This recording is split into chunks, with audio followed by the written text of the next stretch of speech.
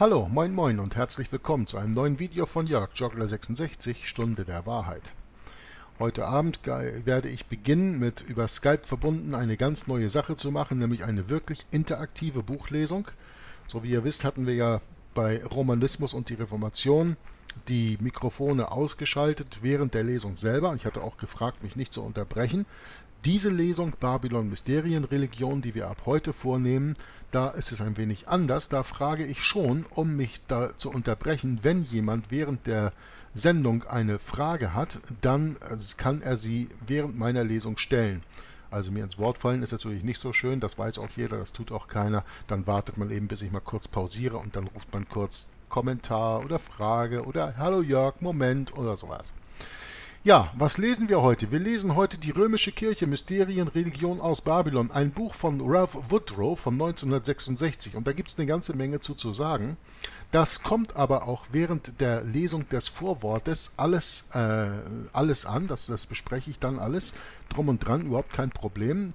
Das PDF habe ich gestern auf meinem archive.org äh, auf meiner Bibliothek dort hochgeladen. Das kann sich jeder bei äh, Joggler66 auf Archive oder heißt das nur Joggler, weiß ich jetzt gar nicht. Joggler heißt das, glaube ich, nur auf archive.org runterladen. Kann das Buch mitlesen, kann es für sich selbst lesen, muss meiner Lesung gar nicht folgen. Ein sehr interessantes Buch, aber bevor wir in das Buch heute hineingehen, und ich wäre ja nicht Jörg, wenn ich das nicht machen würde, habe ich natürlich mal was anderes vorbereitet. Und zwar habe ich gestern Abend eine Bibelstudie gehabt mit Tom Fress und äh, Brett Norman, wie ich das jeden Samstagabend habe. Ich sage Samstagabend, weil je nach Zeit ist das teilweise noch Sabbat, teilweise ist das sogar Sonntag, also geht das schon in den Sonntag über. Ist der Sabbat bei mir vorbei, aber ich bin den Brüdern in Amerika sieben Stunden voraus. Das geht nun mal nicht anders. Bei mir ist es immer abends um acht und bei ihnen ist das dann mittags um eins. Und wir machen dann immer Bibelstudie. Und Tom hat uns zu Anfang eine E-Mail vorgelesen, die er von einem seiner Zuschauer bekommen hat, die ich so interessant fand, die ich so auf den Punkt gebracht fand, dass ich ihn gefragt habe, Tom, sei doch so lieb, schick mir bitte den Text und dann werde ich ihn ins Deutsche übersetzen, weil das möchte ich wirklich gerne mal vorlesen hier. Und genau da möchte ich heute mit anfangen und deswegen werden wir hier in dieses Papier hineingehen Moment, jetzt muss ich nochmal eben die richtigen Bilder hier finden. So, und ich habe das Papier genannt, ich verstehe es. Also Tom hat mir das geschickt und ähm, das Original, die Original-E-Mail hieß I get it. Ne? Also das heißt, ich verstehe es halt auf Englisch. Und ich habe das über den Google-Übersetzer äh, übersetzt naja, ich bin da nicht so äh, wahnsinnig gut drin wie Maximilian, der das ganze Buch von Romanismus und die Reformation übersetzt hat, oder Viktor, der hinter den Diktatoren ganz übersetzt hat und so viele andere Extrapapiere übersetzt hat für die verschiedenen Lesungen, oder äh, Stefan, der wahrscheinlich den größten Teil von Herrscher des Bösen auf die Art und Weise übersetzt hat. Also wenn hier und da ein wenig das Deutsche ein bisschen verkehrt ist, dann äh, stört euch da nicht dran. Es geht wirklich um den Inhalt. Weil Warum geht es um den Inhalt? Das Buch, das wir gleich lesen werden, das Bild hatte ich ja gerade eben schon mal eingeblendet hier. Ralph Woodrow, die römische Kirche, Mysterienreligion aus Babylon. Das Buch beschäftigt sich im Grunde mit demselben Thema, mit dem damals sich schon ähm, 1853 Alexander Hislop beschäftigt hat. Mit dem Buch, das ich als allererstes Video auf meinem deutschen Kanal gelesen habe. Das war die Einleitung, war mein allererstes deutsches Video von Babylon nach Rom. Und dann habe ich damals das ganze Buch von Babylon nach Rom gelesen, was der deutsche Titel ist von The Two Babylons von Alexander Hislop von 1853. Und dieses Buch von Ralph Woodrow, das von 1966 ursprünglich erschienen ist, handelt von demselben Thema, nimmt auch das Buch von Alexander Hislop als Basis, neben der hauptsächlich äh, römisch-katholischen Enzyklopädie, also das sind seine Hauptbrunnen, die er äh, heranzieht, um dieses Buch zu schreiben. Und dieses Buch erklärt uns, dass die römisch-katholische Kirche ihren Ursprung in Babylon hat. Nur ist dieses Buch sehr viel zugänglicher als das Buch von Alexander Hislop selber, die zwei Babylons oder von, von Babylon nach Rom, wie es im Deutschen heißt. Nun, der Punkt ist, warum ist es so wichtig, die römisch-katholische Kirche zu verstehen? Ja, wir haben gerade die Lesung abgeschlossen von Romanismus und die Reformation. Und wir hatten gelernt, dass das Papsttum, das an der Spitze steht, der römisch-katholischen Kirche, und zwar das ähm, sage ich jetzt mal, das Amt des Papsttums, das ja weitergeht als die eine Person. Es ist ja immer, wenn einer aus dem Amt scheidet, aus welchem Grund auch immer, und ein nächster übernimmt, das Amt ist immer dasselbe, die Person verändert, aber das Amt ist dasselbe, dass dieses Amt des Papsttums ganz deutlich erklärt wurde während der ganzen Buchlesung von Romanismus und die Reformation als ähm, der biblische, historische und prophetische Antichrist.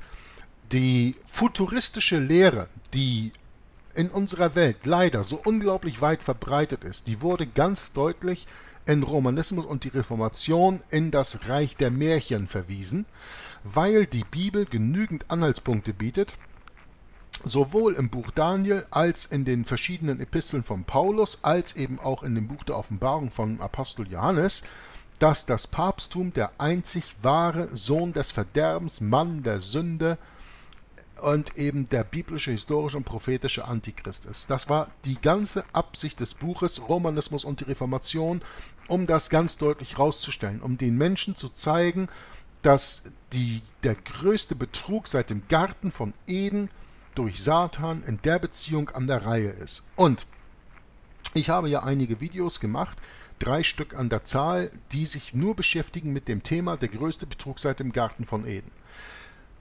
Und das basiert sich hauptsächlich in der richtigen Auslegung des Daniel, äh, der Daniel-Prophezeiung, Kapitel 9, Verse 24 bis 27. Die sind absolut ähm, grundsätzlich notwendig zum richtigen Verständnis, um zu begreifen, dass Jesus Christus der Messias ist und der Messias war, als er vor 2000 Jahren kam. Dass er dreieinhalb Jahre im Fleisch sein Ministerium hier auf dieser Erde erfüllt hat, dass er dann, wie in Daniel vorhergesagt wird, in der Mitte der Woche, nämlich der 70. Woche, die die 490 Jahre, die 70 Jahrwochen Prophezeiung von Daniel 9 abschließt, ans Kreuz ging, starb aber nicht für uns, aber damit gleichzeitig die Speisopfer und Brandopfer hat aufhören lassen. Und als Jesus Christus am Kreuz den Geist aufgab und wie in den äh, Aposteln, äh, in, den, in den Evangelien geschrieben steht, zu dem Zeitpunkt wurde der Vorhang des Tempels von oben nach unten komplett eingerissen, das Allerheiligste wurde entblößt, dem Hohepriester wurde damit die Möglichkeit nicht mehr gegeben, in das Allerheiligste zu gehen und die Opferungen zu machen. Dieses ganze, diese ganze Tempelanbetung hat in dem Augenblick komplett aufgehört. Das ist im Grunde die Nachricht, die wir aus Daniels Prophezeiung Kapitel 9, Verse 4 bis 27 bekommen. Jesus Christus ist der Christ. Er ist der Messias. Er ist für unsere Sünden gestorben und er hat die Brand- und Speisopfer in der 70. Woche, in der Mitte der 70. Woche, als er ans Kreuz ging, hat aufhören lassen und hat dann sein Ministerium dreieinhalb Jahre im Geist weitergeführt und am Ende der 70 Jahre ist dann das Evangelium endlich an die Heiden gegangen.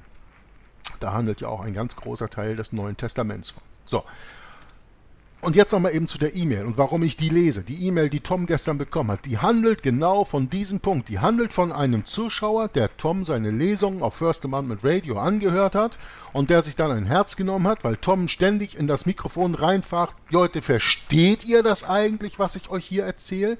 Versteht ihr endlich, dass das Papsttum der biblische, historische und prophetische Antichrist ist? Ja, und der Mensch hat sich endlich mal ein Herz genommen, hat sich hingesetzt, hat sich die E-Mail-Adresse von Tom aufgeschrieben, hat ihm eine E-Mail geschrieben und diese E-Mail lautet wie folgt. Ich verstehe es.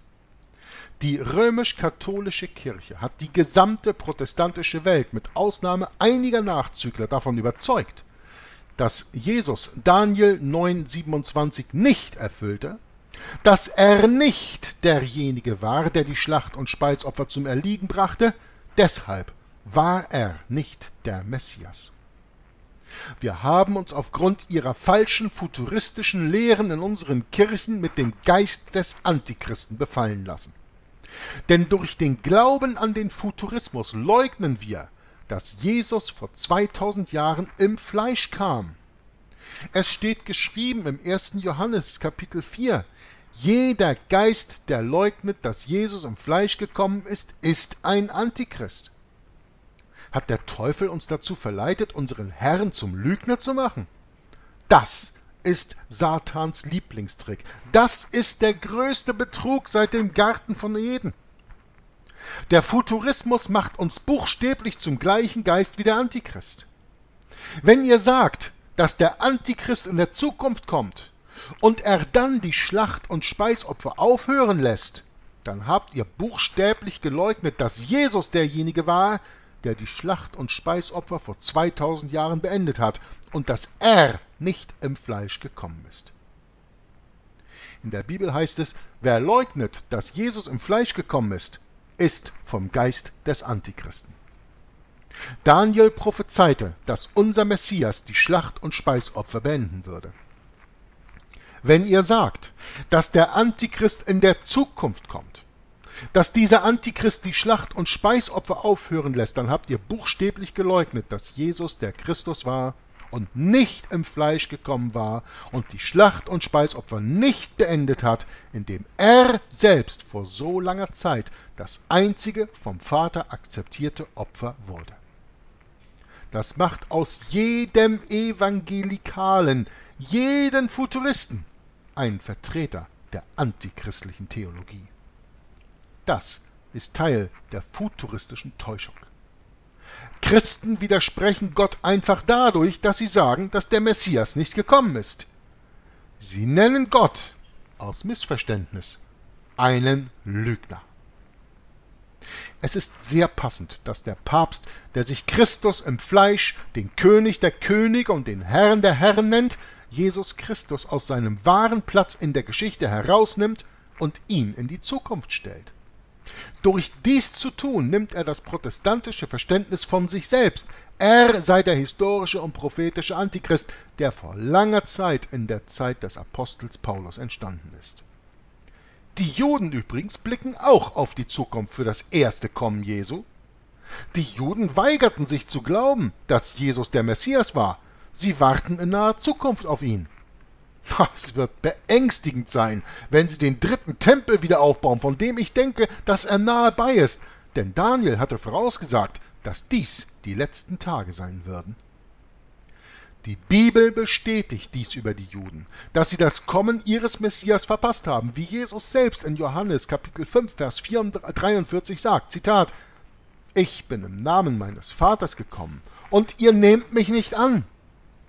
Wenn ein anderer in seinem eigenen Namen kommt, den werdet ihr annehmen.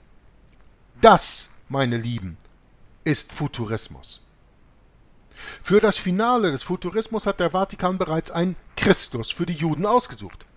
Es ist der Papst. Alles, was der Vatikan tun muss, ist, die Juden dazu zu bringen, erneut Tieropfer im neuen Tempel zu beginnen. Und nach dreieinhalb Jahren gehen die Schlacht- und Speisopfer zum Erliegen zu bringen. Und die können, sie können jeden, den sie wollen, präsentieren als denjenigen, der die Schlacht- und Speisopfer aufhören lässt. Das könnte selbst Mickey Mouse sein wenn er einen siebenjährigen Friedensvertrag mit den Juren unterzeichnen wird, und wer immer es ist, wird nun von der gesamten christlichen Welt als dieser futuristische Antichrist bezeichnet. Das, meine Lieben, ist Futurismus. Wenn also dieser futuristische Antichrist aus dem Weg geräumt wird, ist die letzte Stufe gesetzt. Dies öffnet jetzt die Tür für einen falschen Messias, denjenigen, der sich selbst als den Christus deklarieren wird. Denjenigen, auf den die Juden törichterweise warten, der sich selber König der Könige und Herr der Herren hier auf Erden nennt. Der heilige Vater. Aber Jesus sagt, nenn niemanden auf Erden deinen Vater, denn du hast einen Vater im Himmel. Dies allein sollte Warnung genug sein, um das Papsttum und den Papst als das aufzudecken, was er wirklich ist, der biblische historische und prophetische Antichrist von Anfang an. Die Juden und der Rest der betrogenen Welt werden diesen selbsternannten päpstlichen falschen Christus, diesen weltlichen Antichristen empfangen. Aus keinem anderen Grund werden sie ihn annehmen. Aus keinem anderen Grund, als zu behaupten, dass sie sich in Bezug auf die Schrift nicht geirrt haben und das Kommen ihres wahren Messias, den sie als Opferlamm Gottes ablehnten, als er vor 2000 Jahren hier war. Aus keinem anderen Grund werden sie ihn annehmen. Sie hatten ihn gekreuzigt, denn sie wussten nicht die Zeit seines Kommens. Sie warten immer noch. Aber der Papst wird ihnen ihren Messias geben, aber erst, nachdem derjenige, der den siebenjährigen Friedensvertrag unterzeichnet und nach dreieinhalb Jahren bricht, entfernt wurde. Denkt daran. In Daniel Kapitel 9, Vers 27, die Opfer waren bereits erfüllt durch Jesus Christus und durch sein vergossenes Blut vor 2000 Jahren und das vollkommen und vollständig. Lob sei seinem heiligen Namen. Er brachte die Schlacht und Speisopfer zu Ende, indem er selbst das Opferlamm war. Dann riss Gott den Schleier des Tempels entzwei und stoppte so weitere Anbetung oder Opfer auf dem Tempelberg und proklamierte, der Tempel wird verlassen bleiben. Denn nachdem Jesus zum Lamm Gottes geworden war, wurde jede Fortsetzung der Tieropfer und jede Anbetung im Tempel ein Gräuel für Gott und eine Leugnung von Jesus Opfer, das alle Opfer beendet. Der Futurismus ist also nichts anderes als das Papsttum, das versucht, den Schleier wieder zusammenzunähen, während er die Last des Antichristen von sich selbst wirft. Daniel, Kapitel 9, Vers 27, ein Auszug, Zitat. Und er wird mit vielen einen festen Bund schließen, eine Woche lang. Und in der Mitte der Woche wird er Schlacht und Speisopfer aufhören lassen. Hesekiel Kapitel 4, Vers 6 gibt uns die Erklärung dafür, wie lang eine Woche ist, wie lang ein Tag ist. Zitat wenn du aber diese Tage vollendet hast, so lege dich das zweite Mal auf deine rechte Seite und trage die Schuld des Hauses Juda vierzig Tage lang. Je einen Tag will ich dir für ein Jahr auferlegen. Die sieben Jahre wurden also als sieben prophetische Tage angegeben. Daniels Prophezeiung wird dadurch leichter verstanden, dass Jesus in der 70. Woche der Daniel-Prophezeiung mitten in der Woche die Schlacht- und Speisopfer hat aufhören lassen.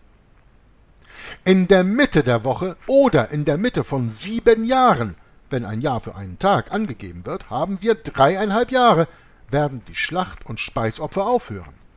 Nach dreieinhalb Jahren, in denen er sein Evangelium im Fleisch verbreitet hatte, wurde Jesus für uns abgeschnitten und gekreuzigt. Er war das Opfer, um alle Opfer zu beenden, neue Opfer, die in der Zukunft kommen werden, oder jede Tempelverehrung, ist ein Gräuel und eine futuristische Lüge. Heute ist die katholische Kirchenmesse ein buchstäbliches Opfer. Ein Priester spricht einige magische lateinische Worte.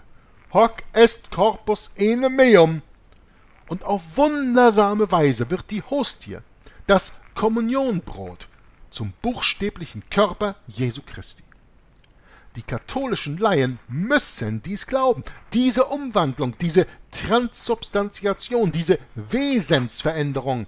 Oder sie werden von ihrer Kirche bestraft. So essen die Laien die Hostie, die jetzt durch eine von, Sünd, von einem sündigen Mann, einem Priester, gesprochene Zauberei zum Leib und Blut Jesu Christi geworden ist. Sie essen sich selbst in die Verdammnis, sie werden selbst zu Kannibalen. Ist das kein Opfer? Im wahrsten Sinn des Wortes, verkleidet in der katholischen kirchlichen Tradition. Ich will jetzt nicht gotteslästerlich klingen. Bitte verzeih mir, o oh Herr, aber ich muss einen wichtigen Punkt machen. Frage. Wenn die Hostie, dieses Stück Brot, das du gerade gegessen hast, Jesus aufgrund einiger magischer Worte ist, wie sieht's dann morgen früh aus, wenn du auf der Toilette bist? Es wird dann nicht magisch sein. Wird es immer noch Jesus sein? Muss der Priester zu dir nach Hause kommen und ein paar magische Worte aussprechen, um ihn zurückzuzaubern, bevor du Jesus ins Klo spülst? Gott bewahre! Was für ein Haufen römisch-katholischer Mist und wirklich kein Wortspiel beabsichtigt hier. Ist das Ihre, ist das der Kirche kranke, verborgene Absicht? Die römisch-katholische Kirche hält täglich eine Messe nach der anderen ab und opfert Jesus durch Transsubstantiation dauerhaft und leugnet sein vollkommenes Opfer, das alle Opfer für alle Zeit beendet. so leugnen sie selbst in ihrer Messe das Opfer Jesu, indem sie ihr eigenes Opfer der Transubstantiation fortsetzen und leugnen, dass er vor 2000 Jahren in Golgatha mit seinem Blut und seinem Leben am Kreuz, am Kreuz bezahlt hat. Für uns. Der Teufel ist ein schlauer äh, äh, Punkt, Punkt, Punkt, Sohn. Aber zuerst ist er ein Betrüger. Er ist der Vater der Lüge.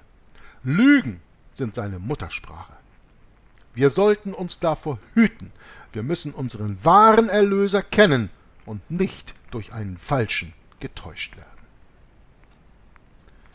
Soweit die E-Mail, die Tom Fress von seinem Zuhörer bekommen hat, die meines Erachtens diesen ganzen, wie ich es schon öfter angeführt habe, den größten Betrug seit dem Garten von Eden auf den Nenner, auf den Punkt bringt.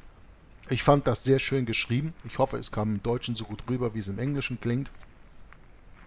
Auf jeden Fall ist das eine absolut perfekte Einleitung zu dem Buch, was wir jetzt lesen werden.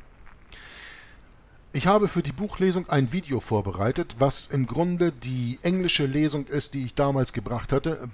BMR steht hier, Babylon Mystery Religion heißt das das erste Video, das erste Kapitel.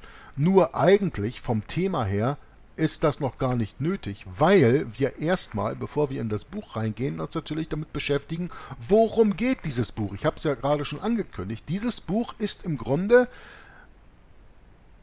ein einfacherer Zugang zu demselben Thema, das Alexander Hislop in seinem Buch 1853, also 113 Jahre bevor Ralph Woodrow dieses schrieb, ähm, ein einfacher Zugang zu demselben Thema und vor allen Dingen auch ein Thema, aus dem ganz deutlich ersichtlich wird, dass das Amt des Papsttums der biblische, historische und prophetische Antichrist ist. Wir müssen auf keinen zukünftigen Antichristen warten und wir müssen schon gar nicht auf einen zukünftigen Jesus Christus warten. Jesus Christus kam im Fleisch vor knapp 2000 Jahren und ist für unsere Sünden am Kreuz damals gestorben. Und wenn wir das nicht durch die Prophezeiung von Daniel akzeptieren, dann akzeptieren wir Jesus Christus nicht.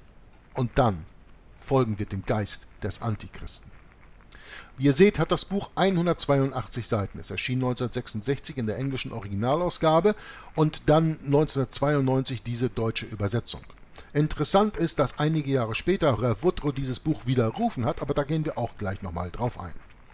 Interessant fand ich, deswegen ist es grün angestrichen, die Bibelzitate hier sind aus der Elberfelder Bibel, revidierte Fassung. Und ihr wisst natürlich, wenn ihr meine Lesung verfolgt habt, die Bibel korrekt oder korrupt, dass die Elberfelder im Grunde die deutsche Version der englischen NIV, der erfolgreichsten englischsprachigen Bibel in der modernen Zeit ist. Nicht die erfolgreichste englische Bibel, das ist und bleibt die König James, da wird die NIV niemals dran tippen, aber in der neueren Zeit ist die NIV die meistverkaufte und meistgelesenste englische englischsprachige Bibel, die sich basiert auf den Nestle Aland Texten, das heißt den Texten, die aus dem Strom von Alexandrien kommen, die basiert sind, die Texte, die basiert sind auf dem Textus Vaticanus und Textus Sinaiticus und dem Textus Alexandrianus, diese drei.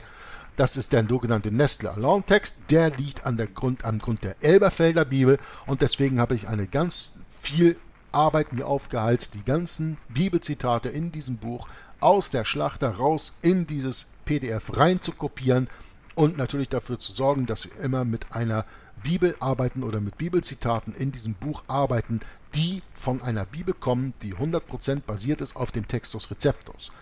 Auch die Schlachter 2000 ist nicht 100% korrekt. Nein, ich habe sogar gestern während unserer Bibelstudie, muss ich mal kurz sehen, dass ich das hier aufschlagen kann. Wir hatten gestern ähm, 1. Petrus Kapitel 4 und 5 besprochen. Da fiel mir auch nochmal ein Wort auf, das falsch war, nämlich im 1. Petrus Kapitel 5 Vers 2. Da steht, hütet die Herde Gottes bei euch, indem ihr nicht gezwungen, sondern freiwillig äh, Aufsicht übt, nicht nach schändlichem Gewinn streben, sondern mit Hingabe. Hütet die Herde Gottes. So wird das in der Schlachterbibel übersetzt. In der König James Bibel steht, feed the flock die Herde füttern, versorgen mit, in dem äh, Punkt gemeint hier natürlich, mit richtiger biblischer Doktrin, ist etwas anderes, als auf die Herde aufzupassen, als sie zu hüten. Also, Die Schlachter hat hier und da Probleme, die Übersetzung wirklich gut rüberzubringen. Wenn man Englisch kann, kann ich immer nur die König James anraten, aber trotzdem habe ich hier für diese Buch, für Buchlesung dafür gesorgt, dass alle Bibelzitate, die ich hier nenne, aus der Schlachter rüberkopiert sind. Gehen wir mal kurz in das Inhaltsverzeichnis und machen wir uns damit bekannt, was uns die nächsten Wochen erwarten wird, want dies wird eine intensive, ziemlich lange Lesung, auch wenn das Buch nur 182 Seiten hat. Übrigens, ich habe hier schon mal einen Teil vorgelesen. Ähm, das ist, glaube ich, in Kapitel 17, 18, werden wir gleich vorbei, äh, vorbeischauen, weil ich das sagen will, wenn ich erkenne, wo das genau ist. Da erinnert ihr euch, da war dieses, ähm, im Englischen ist das ein Gedicht, wo es darum ging, dass ein Katholik mit einer protestantischen Frau verheiratet ist und er lädt einen Priester bei sich zu Hause ein und will die Frau davon überzeugen, dass durch die Transubstantiation und so weiter und so weiter. Ne? Das habe ich ja schon mal vorgelesen in einer anderen Buchlesung, ich glaube sogar in Romanismus und die Reformation habe ich das mit eingekleidet, weil das gut passte zur Eucharistie. Dieses ist also das Buch, wo das drin vorkommt. Auch das werden wir nochmal besprechen. Und das führt ja wieder genau zurück auf das Thema, was wir gerade eben bereits besprochen hatten, in der, in der einleitenden E-Mail von dem Zuhörer von Tom Fress, der ja auch genau diese Sache erwähnt hat. Die Transubstantiation, diese Wesensveränderung der Hostie, dieses Stückes Brotes in den Leib und die Seele, in das Blut und das Fleisch, in die Menschlichkeit und Göttlichkeit unseres Herrn Jesus Christus. Also, Kapitel 1 dieses Buches, die römische Kirche, Mysterien, Religion aus Babylon, heißt Babylon, die Quelle falscher Religion. Das ist in der Hinsicht auch gleich ein furchtbar wichtiges Kapitel, weil man nämlich nur, wenn man die Geschichte Babylons kennt, die Quelle und damit die Wurzeln all der verschiedenen Religionen auf dieser Welt heutzutage in dieser Welt kennenlernt. Genau der Punkt, den ich damals auch natürlich bei Alexander Hislop gemacht habe. Deswegen ist von Babylon nach Rom ein so wertvolles Buch. Ich habe es hier übrigens nochmal aufgemacht. Das habe ich ja damals gelesen gehabt. Hier 384 Seiten. Ein sehr, sehr äh, spannendes, interessantes Buch. Der Ursprung der römisch-katholischen Religion und natürlich auch der Ursprung all der anderen Religionen, die eben allesamt aus Babylon kommen. Nur es gibt nur ein einziges Buch auf dieser Welt, das den Ursprung von Babylon erklärt. Und das ist die Bibel. Von daher kann nur die Bibel das einzig wahre Wort des einzig wahren Gottes sein. Kapitel 2 spricht über Mutter-Kind-Verehrung, also das, was in der römisch-katholischen Kirche euch als Maria und Jesus verkauft wird, hat eigentlich natürlich seinen Ursprung in Babylon und geht zurück auf Semiramis und Tammuz, der wiedergeborene Nimrod, der erste Sonnengott. Kapitel 3, die Marienanbetung, die in der römisch-katholischen Kirche ganz groß geschrieben wird. Kapitel 4, Heilige, Heiligentage und Symbole. Heiligentage, entschuldige bitte, hier müssen wir von, wir sprechen hier heute von Feiertagen. Das, was wir hier als Feiertage haben. Heute ist der 28. April. Wir haben gerade vor einer Woche Ostern gehabt. Also, das sind diese Heiligen, diese, diese Heiden, wollte ich sagen, diese Heiden-Heiligen Tage, wie Ostern zum Beispiel, die werden hier erklärt. Einige davon. Ostern selbst etwas weniger, Weihnachten auch, dafür haben wir ein eigenes Kapitel, das kommt später. Obelisken. Ja, hier ist ein kleiner Tippfehler drin. Hier steht Oberlisken. Es ist Obelisken. Also das Buch ist, auch wenn es eine originale Übersetzung ist, nicht ganz frei von hier und da äh, merkwürdigen schreibgrammatikalischen äh, irgendwelchen Fehlern da drin. Also Obelisken muss das heißen. Tempel und Türme werden hier erklärt. Ist das Kreuz ein christliches Symbol? Konstantin und das Kreuz. Da beschäftigen wir uns intensiv mit, weil da gehe ich noch extra in ein paar andere Dinge mit rein. Und da geht es darum, äh, Konstantin und der Kampf an der Milwischen Brücke und Konstantin und seine Mutter und, und, und, und die Helena, die dann so gesagt Stücke vom Kreuz gefunden hat und, und, und. Also furchtbar interessant. Äh, wie gesagt, sorgt dafür, dass ihr Sonntagabend dabei seid und an dieser Lesung teilnehmen könnt. Kapitel 8 dann, die Reliquien der römischen Kirche. Ja, wie sie Gebeine und Haare und irgendwelche anderen Dinge, die irgendwelche zwischen Anführungszeichen Heiligen in ihrem Leben angerührt oder was auch immer haben, verehren, ja sogar anbeten. Religiöser Betrug. War Petrus der erste Papst? ja, da kann Michael ein Lied von singen. Der hat mit mir zusammen mit Brett im Englischen 17 Lesungen gemacht über Petrus, der nie in Rom war. Und wir gehen auch in diesem Kapitel in ein extra Papier, das geschrieben ist von dem Verleger der Spiegel. Augstein heißt er, glaube ich. Und er wir haben hier einen, äh, einen Artikel, der heißt, ich glaube, der, der, der Fels, der nie in Rom war. Lass mal eben gucken. Hier. Der Fels, der nicht in Rom war. Das ist das hier. Ja, das kommt in Kapitel 10. Habe ich mir hier bereits eine Note genommen, eine Note genommen. Da kommt das dran. Da werden wir davon lesen. Ja, war Petrus der erste Papst? Ja, das werden wir spätestens dann richtig verstehen. Kapitel 11. Der heidnische Ursprung des Papsttums. Das Papsttum selbst behauptet ja, sich aufzubauen ab auf apostolischer Nachfolge. Also, Petrus war der erste Papst und dann ist das über Handauflegen immer auf den nächsten übergegangen. Wobei, wenn die römisch-katholische Kirche auf der einen Seite lehrt, dass Petrus der erste Papst war, auf der anderen Seite lehrt, dass diese äh, apostolische Sukzession, diese apostolische Nachfolge hauptsächlich eben auch durch Handauflegen passiert. Wie ist denn das passiert, wenn so gesagt Petrus so gesagt äh, kopfüber in Rom gekreuzigt wurde, wem hat er denn dann die Hand auf den Kopf gelegt? Der heidnische Ursprung des Papsttums eben. Päpstliche Unmoral. Das hat hier knapp zehn Seiten und da möchte ich mal kurz darauf verweisen, da gibt es noch ein anderes sehr interessantes Buch, auf das man hingehen kann, nämlich das Buch Die Frau und das Tier von Dave Hunt.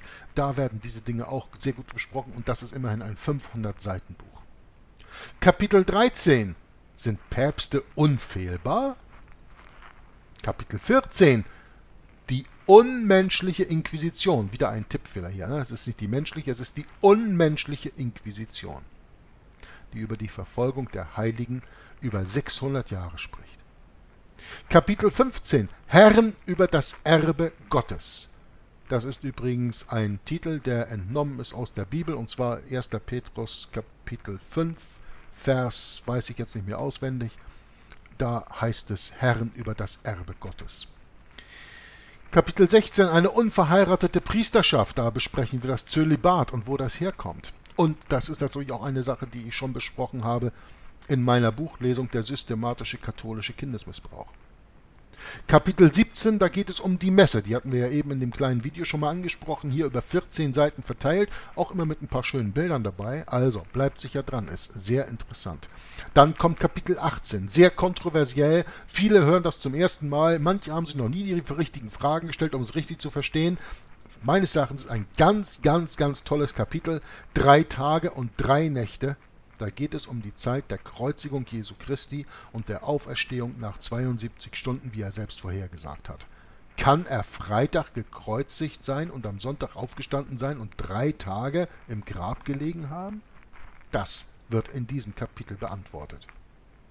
Kapitel 19 Fisch, Freitag und das Frühlingsfest. Da geht es auch unter anderem darum. Und natürlich Frühlingsfest, da geht es um Ostern. Und Kapitel 20, da geht es um das Winterfest oder wie wir sagen, Weihnachten. Kapitel 21, das Geheimnis der Vermischung. Welcher Vermischung? der Vermischung, von der in der Bibel gewarnt wird, nämlich der Vermischung von dem Heiligen mit dem Unheiligen. Dann gibt es noch ein paar Anmerkungen und ein Literaturverzeichnis am Ende. Und wir beginnen heute jetzt mit dem Vorwort. Wie gesagt, wenn jemand eine Bemerkung hat, eine Frage hat, dann schaltet euer Mikrofon ein und fragt. Die römisch-katholische Kirche führt der Autor auf ihren Ursprung zurück, nämlich Babylon.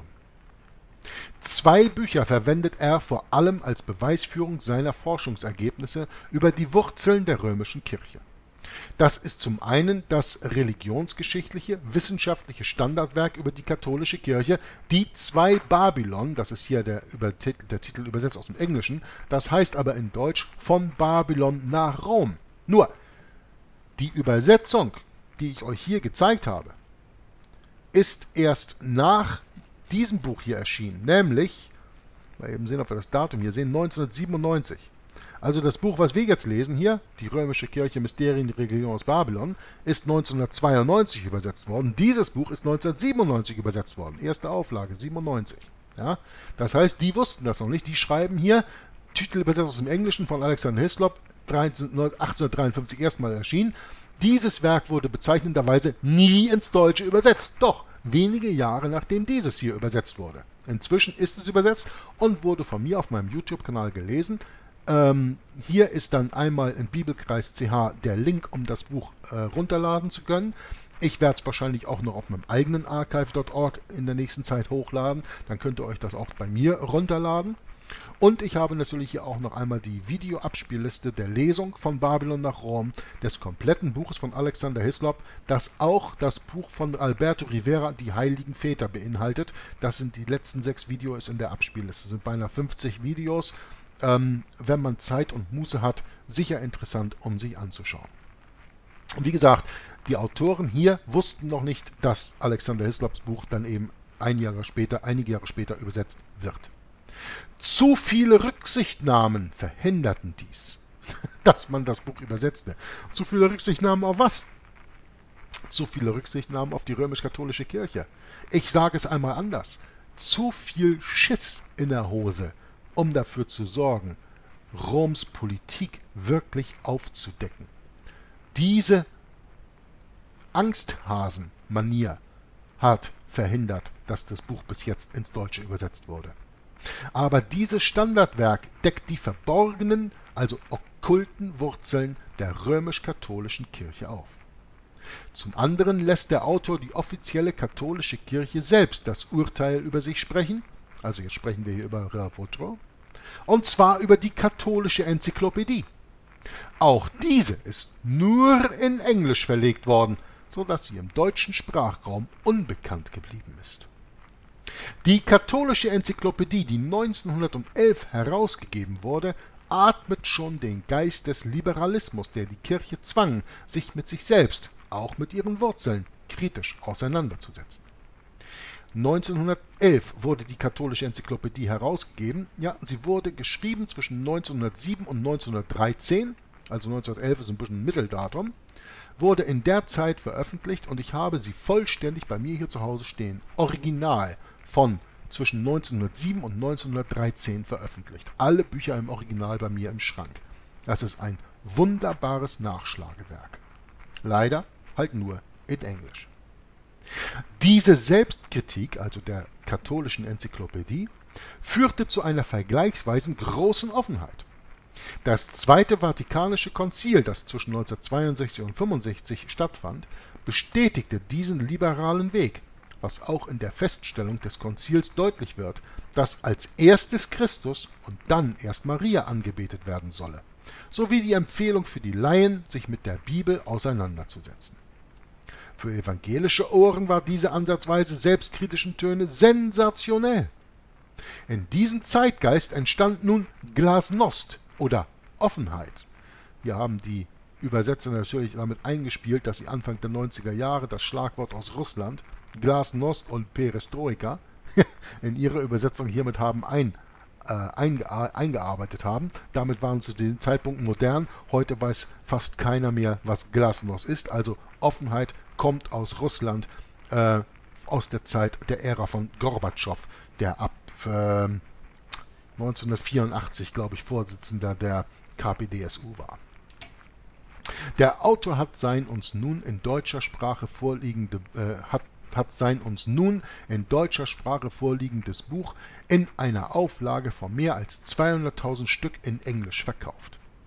Der Autor Ralph Woodrow schrieb in dieser katholischen Glasnost-Zeit sein bedeutendes, weil gründliches Buch. Ja, er schrieb das nicht in dieser katholischen Glasnost-Zeit, er schrieb es 1966, also direkt nach Beendigung des Zweiten Vatikanischen Konzils und meinte, dass er damit durchkommen würde. Aber Interessant ist hierbei, dass wir eine Fußnote von mir hier lesen. Er hat dieses, also das Buch Die römische Kirche, Mysterienreligion aus Babylon, geschrieben 1966. Dieses und andere Bücher jedoch in den 90er Jahren des letzten Jahrhunderts widerrufen. Und er hat neue Ausgaben geschrieben. Ja, dieses Buch hier heißt im Englischen Babylon Mystery Religion. Und er hat ein neues Buch rausgeschrieben und das heißt The Babylon Connection Fragezeichen und hat mit dem Buch alles widerrufen, was er in diesem Buch geschrieben hat. Ja? Er hat das Buch also widerrufen und neue Ausgaben geschrieben, die die römisch-katholische Kirche im Glanz der Sonne darstellen. Er hat dem Druck und der Androhung seines Lebens nicht standgehalten und somit seine Seele an den Teufel verkauft. Hier ein von mir übersetzter Kommentar aus meinem Video zu seinem schwachen Rückruf, den ich gerne mit jedermann hier teilen möchte. Zitat von Sean Thornton.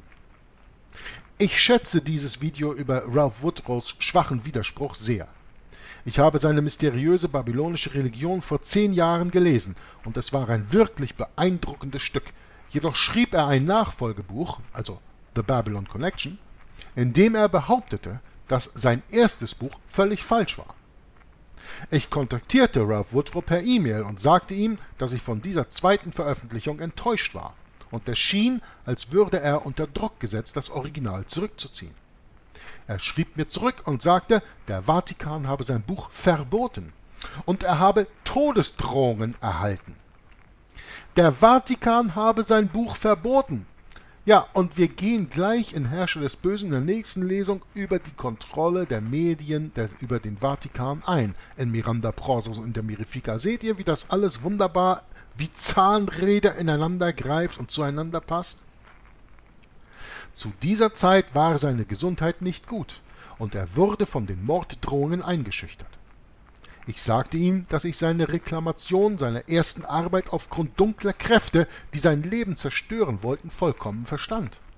Ich sagte ihm auch, dass obwohl das zweite Schreiben, also das zweite Buch zu zeigen schien, dass er alles nur erfunden hatte, zu spät war, weil die Wahrheit bereits entlarvt wurde durch sein erstes Buch und jeder Versuch, Zweifel zu säen, vergeblich war. Ich wünschte ihm alles Gute und Frieden. Er antwortete mit einem einfachen Dankeschön. Ich hoffe, jeder versteht den Druck, unter dem er stand, und seine Gründe, warum er das Buch zurückgezogen hat. Ich hoffe, das bringt ein Verständnis dafür, warum er getan hat, was er getan hat. Frieden für alle von Sean Thornton. Und als Quelle das Video Nummer 20 aus den 21 Videos das diese Videospielliste umfasst. Ich habe vorgelesen, dass das Buch 21 Kapitel hat und das hat 21 Videos. Das ist aber teilweise so in Englisch, dass ich teilweise zwei Kapitel in einer Lesung drin habe. Ich glaube nicht, dass ich das im Deutschen auch schaffe, zwei Kapitel in einer Lesung zu machen, aber im Englischen habe ich das damals geschafft. Also, der Autor hat sein uns nun in deutscher Sprache vorliegendes Buch in einer Auflage von mehr als 200.000 Stück in Englisch verkauft.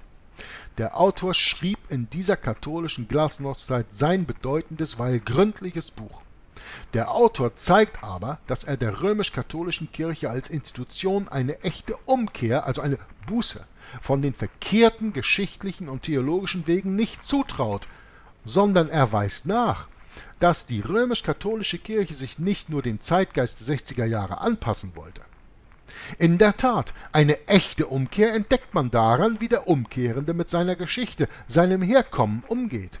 Umkehr kann nur da ernst genommen werden, wo der Umkehrende seine Vergangenheit aufarbeitet und sich abkehrt durch Buße von allen sündhaften Fehlentwicklungen. Diese Buße hat die römisch-katholische Kirche nie getan. Genauso wenig ist sie umgekehrt von den zusätzlichen Dogmen des 1870 stattgefundenen Ersten Vatikanischen Konzils, auf dem die Unfehlbarkeit des Papstes und die Quasi-Göttlichkeit Mariens durch ihre Himmelfahrt als verbindlich zu glauben erklärt und doktriniert wurde.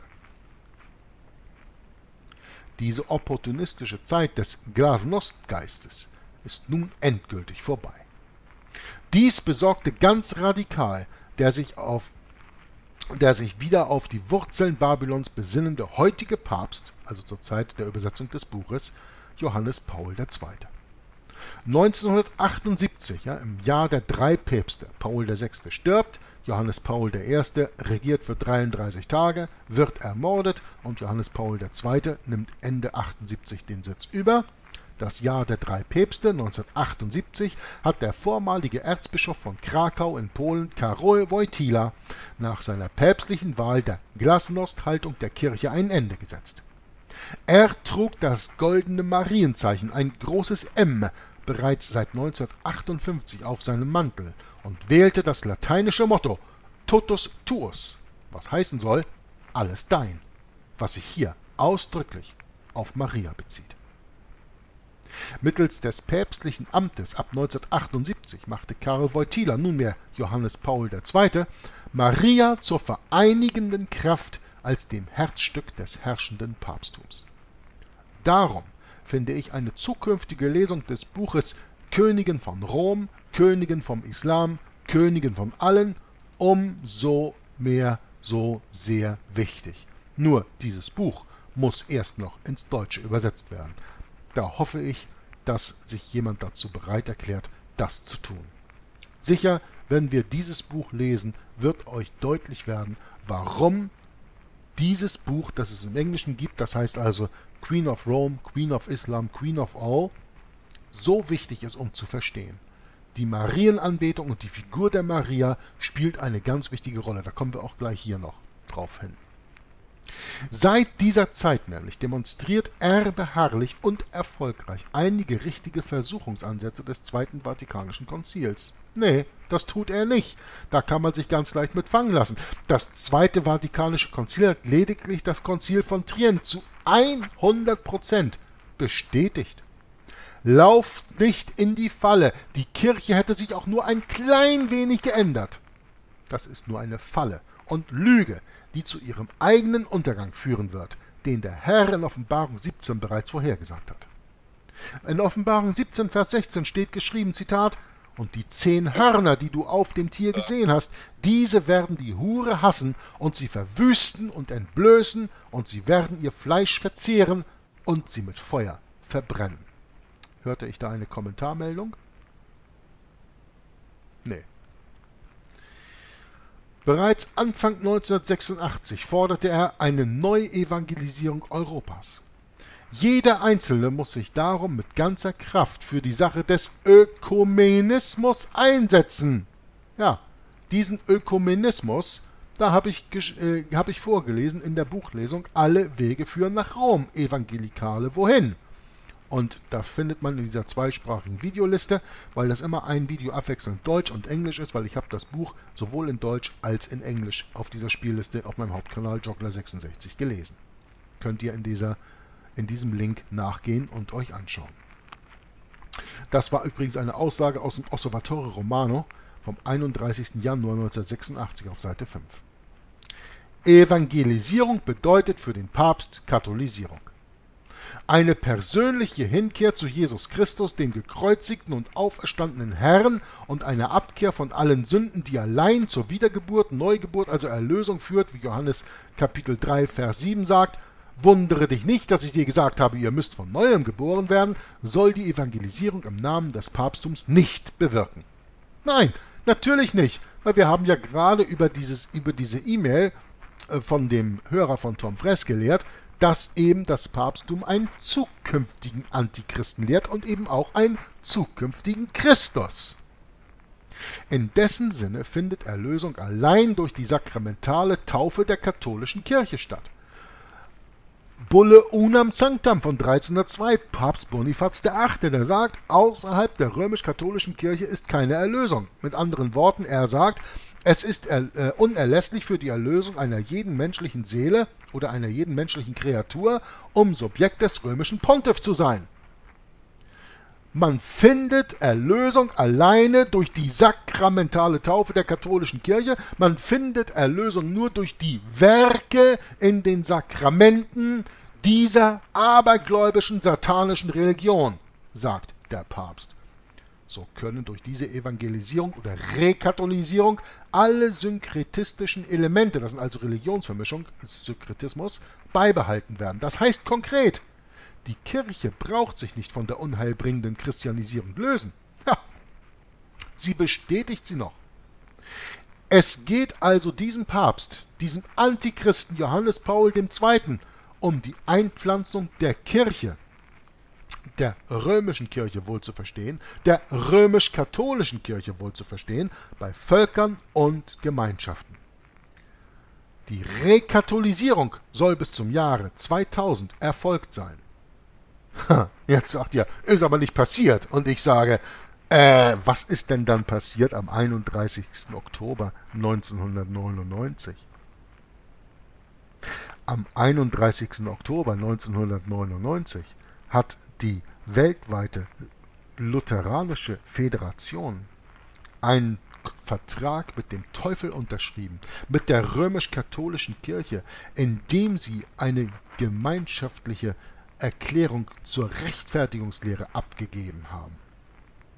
Ausgerechnet am 31. Oktober, ausgerechnet am Reformationstag 1999. Das war vor dem Jahr 2000.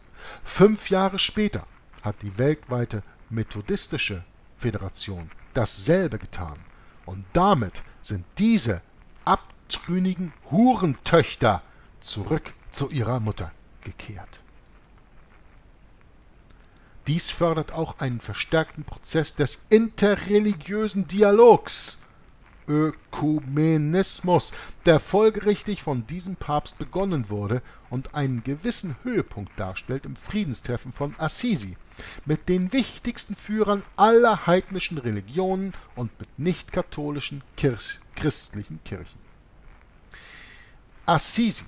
Was glaubt ihr, warum Papst Franziskus sich offiziell benannt hat nach Franziskus von Assisi? Dass er sich in Wirklichkeit benannt hat nach Francis Xavier, dem Mitgründer der Jesuiten, das ist interne Lehre. Externe, äußerliche Lehre für die Laien ist, er hat sich benannt nach Franziskus von Assisi. Die Rekatholisierung ist für Antichrist Johannes Paul II. erst abgeschlossen mit der Vereinigung aller Religionen unter dem Dach des Vatikans. Die römisch-katholische Kirche trägt ohnehin in sich in den rund 1600 Jahren ihrer Geschichte viele Elemente der heidnischen Religion. Und die werden wir alle in dieser Buchlesung lernen, kennenlernen. Durch diese Art von Vereinigungswillen erweist sich die römisch-katholische Kirche aus dem Geiste Babylons. Mit anderen Worten, die römisch-katholische Kirche erweist sich dem Geiste des Antichristen. Johannes Paul II. ist nicht nur ein Eiferer in Sachen Vereinigung aller Religionen, sondern er verstärkt die synkretistisch-dämonischen Kräfte als Pontifex Maximus, also der oberste Brückenbauer, durch eifrige Besuche von vielen Wallfahrtsorten zwecks Wiederbelebung der alten spiritistischen was im katholischen Verständnis spirituellen Kräfte heißt, der Reliquien unter den Altären der Ehre. Er setzt zu ihrer Wiederbelebung die Kraft Mariens ein. Eine durch ihn wiederbelebte Wallf äh, einige durch ihn wiederbelebte Wallfahrtsorte sollen dies deutlich machen.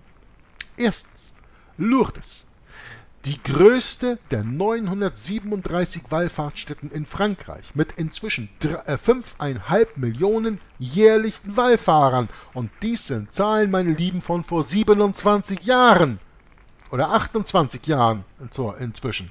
1991. Czechoslowa in Polen. Seit dem Besuch Antichrist Johannes Paulus II. 1979 stieg die Besucherzahl auf nun jährlich 5 Millionen an. Im August 1991 sprach er dort zu einer Million katholischer Jugendlicher. Und das wurde so geschrieben im Time Magazine, veröffentlicht am 30. Dezember 1991. Fatima in Portugal, wo ich ja auch schon verschiedene Male drüber gesprochen habe, was auch in meiner Buchlesung mit Gott und den Faschisten sehr deutlich besprochen wird. Seit 1970 kommen dort regelmäßig jährlich viereinhalb Millionen Pilger zusammen. Von dort kommt auch die Weissagung des Sieges der Maria über den Kommunismus. Was glaubt ihr, warum Russland immer als das Reich des Bösen dargestellt wird? Muss man eben diese Fatima-Erscheinung und Aussage kennen. Aus dieser Weissagung lebt besonders der jetzige Papst und weihte der Maria Russland 1984, kurz vor der Machtübernahme Gorbatschows.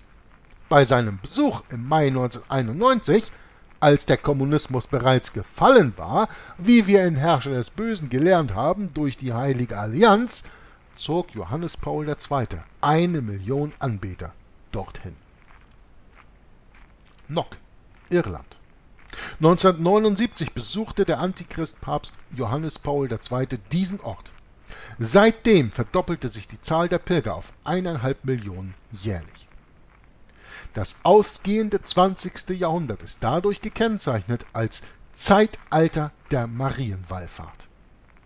Dies ist ein Beweis, ein unumstößlicher, dass die römisch-katholische Kirche nach wie vor überhaupt nicht daran denkt, vom Synkretismus und Götzendienst abzugehen. Sie kann es auch gar nicht, weil sie etwa seit dem vierten Jahrhundert, also seit 1600 Jahren, sich aus den Quellen Babylons speist. Dies mag auch vielen Evangelischen in den deutschsprachigen Ländern zur Mahnung gereichen, die besonders aus dem pfingstlerisch-charismatischen Lager die Einheit betreiben. Da kann man mehr drüber lesen in dem Buch Ein anderes Evangelium, dessen Lesung ich zurzeit aufgeschoben habe, aber das Buch ist frei zu kaufen. Ein anderes Evangelium beschäftigt sich hauptsächlich mit der charismatischen Bewegung. Unseren katholischen Lesern möchten wir sagen, dass weder der amerikanische Autor Ralph Woodrow der Leiter eines evangelischen Werkes ist, noch wir als Herausgeber für den deutschsprachigen Raum beabsichtigen, Katholiken zu verunglimpfen. Aber als Seelsorger wissen wir, dass es schwer zu ertragen ist, zu entdecken, dass viele aufrichtige Menschen meinten, Gott zu dienen. So wurden sie über ihre langen verwandtschaftlichen Traditionen unterwiesen. Nach Studium dieses Buches werden Sie festgestellt haben, dass Sie nicht Gott in Jesus Christus, sondern Babylon und damit dem Teufel gedient haben. In unserem Seelsorgewerk so Sebulon Zuflucht haben wir vielen Menschen das alleinige Heil in Jesus Christus nahebringen können. So auch Katholiken, die Sehnsucht nach der Freiheit Jesus des Christus hatten. Sie empfingen das Heil durch die Abkehr von den Götzen aus Babylon und vollendeten ihr Heil durch Befreiung von allen ihren Gebundenheiten sowie von der Verdammnis aus dem Tod, den sie fälschlich für Leben hielten. Denn, wie geschrieben steht in Galater Kapitel 5, Vers 1, so steht nun fest in der Freiheit, zu der uns Christus befreit hat, und lasst euch nicht, und lasst euch nicht wieder in ein Joch der Knechtschaft spannen geschrieben in Marienheide, ausgerechnet Marienheide, Januar 1992 von Herr Horst Gerlach, Leiter des Seelsorgewerks Seelebohler Zuflucht, eingetragener Verein.